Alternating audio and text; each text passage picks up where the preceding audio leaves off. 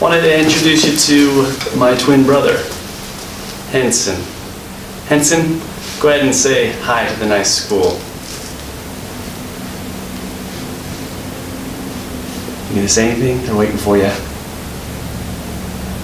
You can't just make faces. You gotta, you gotta say something. Hmm, use your words. Okay. He'll come around. Anyway, say Hensen, got a question for you. Hmm. Let me find it here. What hmm. school do you greet people in? High school!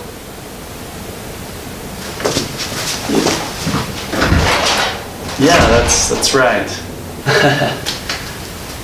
Sorry about him.